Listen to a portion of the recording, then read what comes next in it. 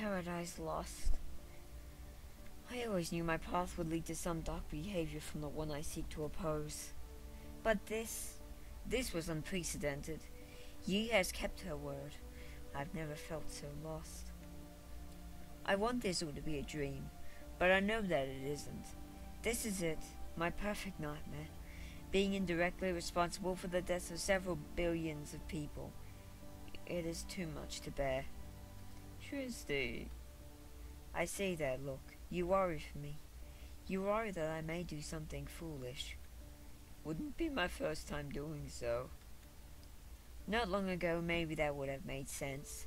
But I'm not that girl anymore. And I am done with running. I have too much to live for now.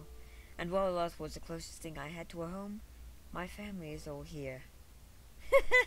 forever together happily is the aim be made.